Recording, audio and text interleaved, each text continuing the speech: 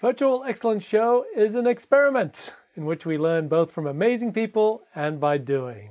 The idea is that we will share our lessons learned because Virtual Excellence has to be about community, I believe, doing together and learning from it. So this is the first of some very brief lessons learned videos we'll share along the way.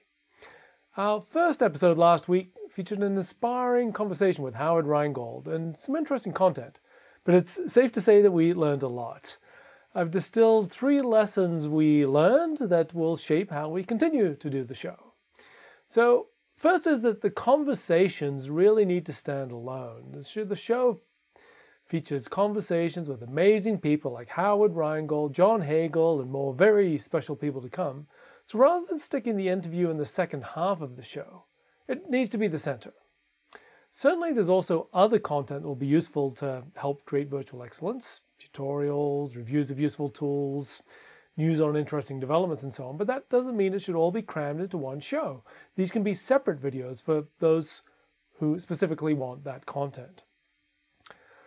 Second lesson is to not overproduce the live shows, and it's probably fair to describe the live stream of our first episode as a semi-disaster with quite a few technical and production problems, so we had to edit the stream afterwards to get an acceptable video up on YouTube.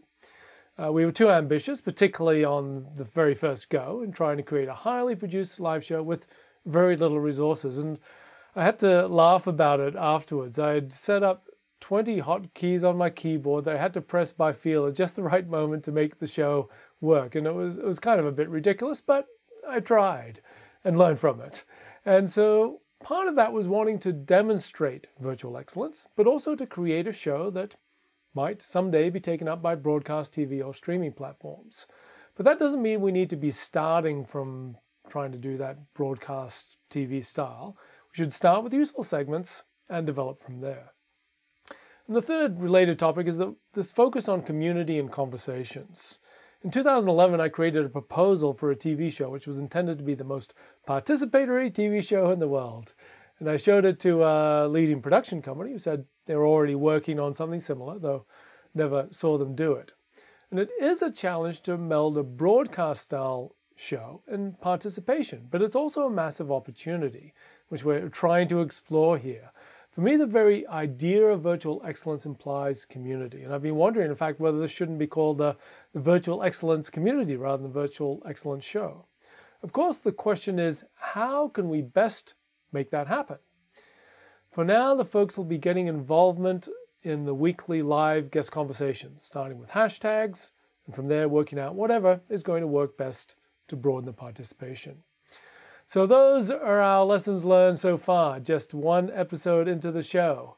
And the weekly live show will be focused on conversations with uh, guests, making them as participatory as possible, and in addition to the weekly live show, we'll release some short videos, including lessons learned such as this one, tutorials, conversation starters, and more. And we'll continue to learn along the way, I would uh, hope.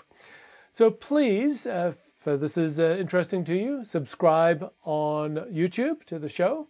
If you can participate in the live shows, uh, give us your suggestion or advice, then go to our website, thevx.show uh, use the Twitter hashtag, um, hashvxshow, um, or go to our Facebook page. We'll also be having conversations there. So our shows are the same time every week. So if you can, please join the live shows and we'll uh, see where this all goes. So thank you so much for listening today. Have a most wonderful day.